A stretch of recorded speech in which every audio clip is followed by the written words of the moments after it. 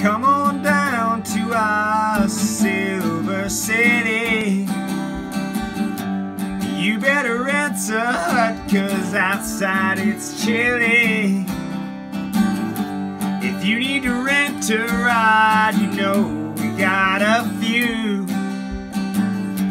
If you want a fish finder, well, heck, we got them too.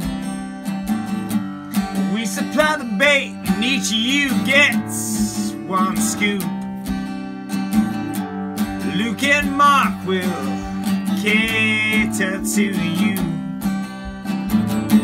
It's hard water fishing, and you never know what's on your line. And in a hut, you don't have to worry about the time. So put your phone down and just relax and Hard water fishing and it's a heck of a time.